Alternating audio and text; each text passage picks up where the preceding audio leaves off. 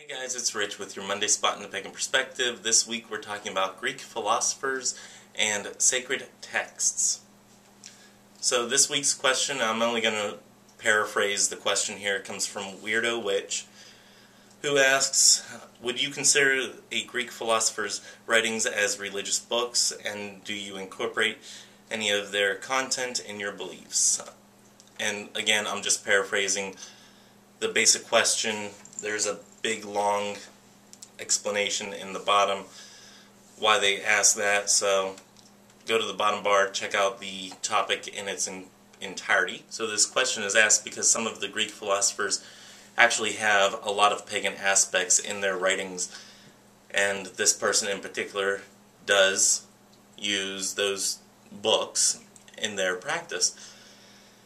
I, however, and I'm very sorry to say this, I have not read of any of the Greek philosophers as far as their writings, the writings of Aristotle and and uh, Socrates and such. I haven't really read any of those types of writings. Not really what I'm into, I guess. But it does not mean that I wouldn't enjoy them. It's just not really my thing. But it did get me thinking to what do we consider sacred texts? At least in this aspect, this person used these writings of philosophy in a deeper, more spiritual manner. And I can completely understand where they're coming from, as paganism doesn't really necessarily have a sacred text that is considered like a holy Bible or anything like that. We really have to kind of find our own sacred texts in different aspects, whether it's philosophy or other religious texts.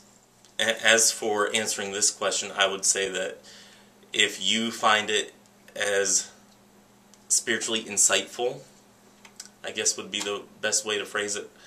If you find it spiritually insightful to view this as a religious text, I would say that it definitely is a religious text.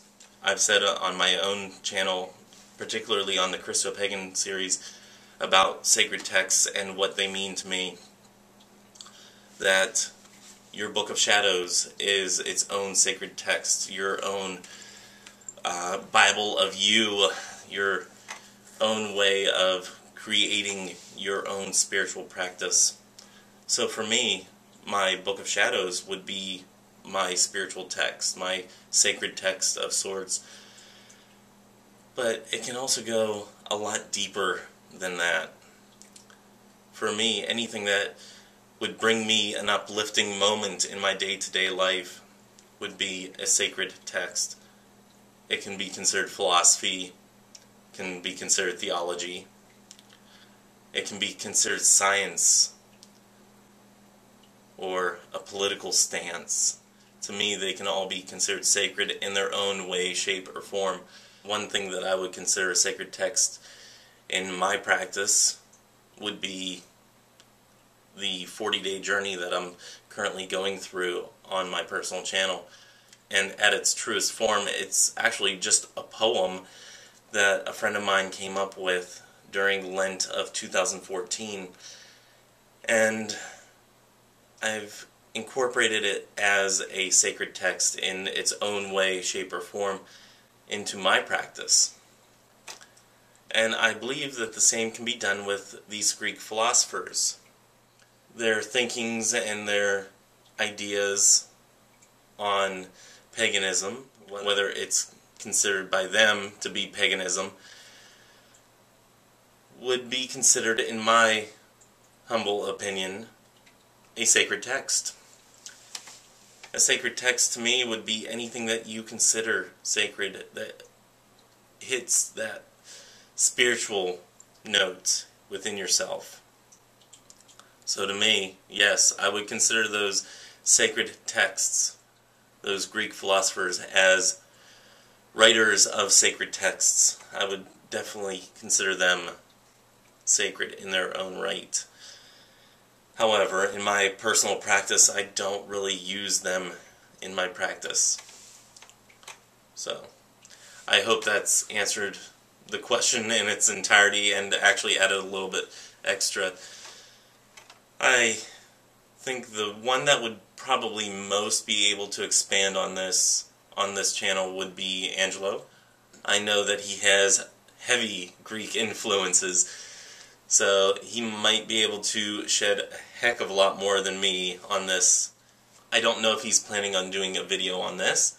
If he is, I'd be very interested in seeing it, either on his personal channel or if he does one here on Pagan Perspective. So, that's all that I have for this week. Next week is Subs Week, so I will not be joining you. Um, looking at my calendar. So I will join you on the 4th. I also wish you guys a blessed Ostara if you're celebrating Ostara today, which I am. It was actually yesterday, but I'm going to celebrate the season of Ostara today, as we are definitely coming into the spring theme of life. If you're in the southern hemisphere, I believe it's Lammas that you are celebrating, so I hope you have a blessed Lammas. And yes, I will be back with you guys on the 4th of April.